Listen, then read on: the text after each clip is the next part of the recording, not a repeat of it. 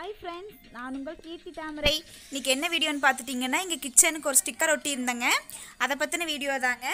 அதோட ரேட்டு அதுக்கப்புறம் சின்ன சின்ன டெஸ்ட் எல்லாம் பண்ணி பார்த்தோம். அதுக்கான ஃபுல் டீட்டெயில் வந்து இந்த வீடியோவில் இருக்குது ஸோ வாங்க வீடியோக்குள்ளே போகலாம்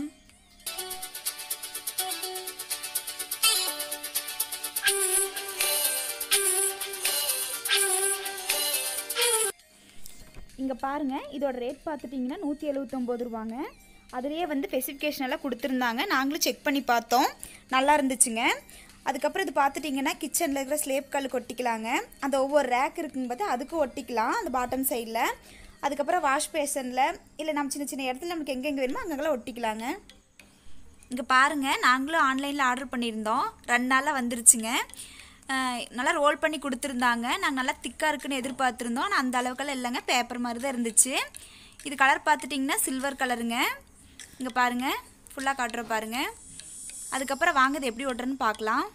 இங்கே பாருங்கள் இது வந்து எங்களோட பிஃபோர் கிச்சனுங்க ஃபுல்லாக ஸ்லேப்கள் ஒட்டியிருந்தோம். அதுக்கு வந்து இன்னும் கொஞ்சம் ஸ்டிக்கர் ஒட்டினா நீட்டாக இருக்கும் அப்படிங்கிறதுக்காக இந்த ஸ்டிக்கர் ஆர்டர் பண்ணியிருந்தோம். வாங்க எப்படி ஒட்டுறன்னு பார்க்கலாம். பார்த்துட்டிங்கன்னா எங்களுக்கு அகலம் வந்து அறுபது சென்டிமீட்டர் வருதுங்க. நீளம் பார்த்துட்டிங்கன்னா இரநூறு சென்டிமீட்டர் வருதுங்க. எங்கள் சைஸு கரெக்டாக இருந்துச்சு. உங்கள் கிச்சனுக்கு என்ன சைஸ் வேணுமோ அந்த அளவுக்கு நீங்கள் ஆர்டர் போட்டு வாங்கிக்கலாங்க. இந்த இடத்துல அடுப்பு இருந்துச்சுங்க. எங்கள் ஸ்லேப்கல்ல வந்து ஒரு ஹோல்ஸ் போட்டிருந்தோம். சிலிண்டர் அந்த பைப்பு போகிறக்காக இப்போ அந்த இடத்துல இடைஞ்சலாக இருக்குதுன்னு நீங்கள் அந்த சைஸுக்கு தகுந்த மாதிரி கட் பண்ணி ஒட்டிகிட்டு இருக்கேங்க நாங்கள்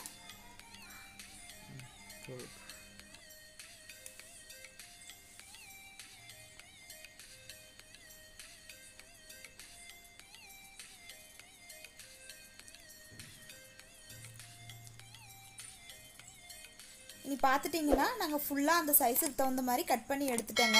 இனி ஒட்ட ஆரம்பிச்சிடலாங்க. இப்போ இந்த ஸ்டிக்கரெல்லாங்க லைட்டாக பிரித்து மேலே ஒட்டியாச்சுங்க. அதுக்கப்புறம் பழைய ஏடிஎம் கார்டோ இல்லை ஏதாவது ஒரு அட்டை இருந்தால் நம்ம நல்லா தேய்ச்சி விட்டுக்கலாம்.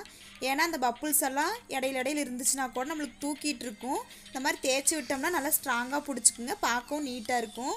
அதனால் இந்த மாதிரி நல்லா தேய்ச்சி விட்டுக்கலாங்க.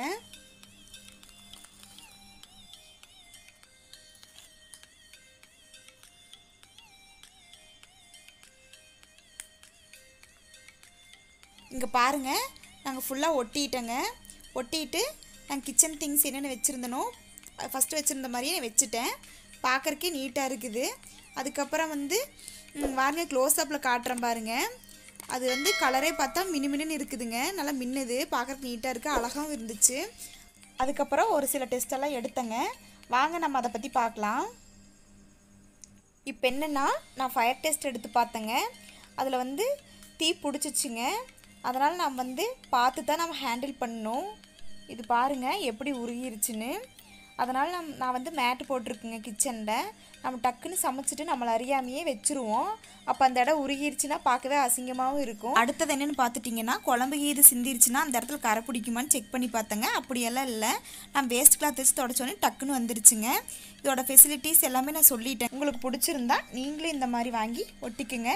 இந்த வீடியோ பிடிச்சிருந்தா கண்டிப்பாக என்னோடய வீடியோவுக்கு லைக் பண்ணுங்கள் மறக்காமல் என்னோட சேனலை சப்ஸ்கிரைப் பண்ணுங்கள் தேங்க்யூ